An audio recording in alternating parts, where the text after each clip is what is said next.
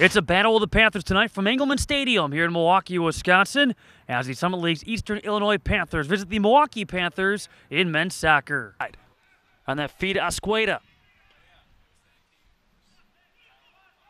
Sulic. Conway.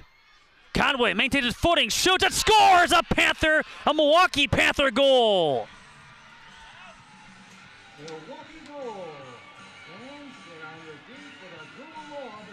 And there's his first goal since October the 3rd. Evan Conway. Coming here with one assist so far this season, going far post.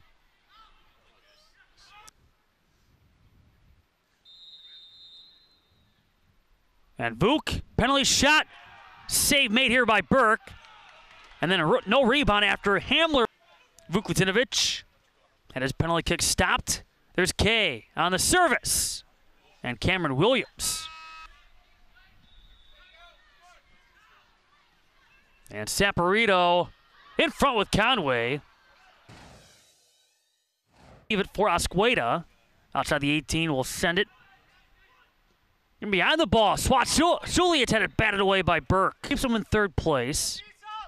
Oral Roberts in Western Illinois, a couple teams still looking for a conference win. Conway has Burke to his left.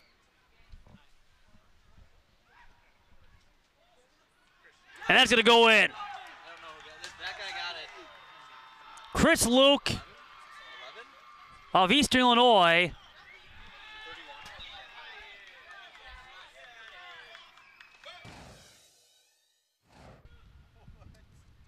Angry Andriaki being the closest Milwaukee Panther. Here's Green off the left foot. I shot that carries over the crossbar. Is that Milwaukee has dominated. Locked in a 1 1 tie, but it's about to end thanks to Swat Sulic.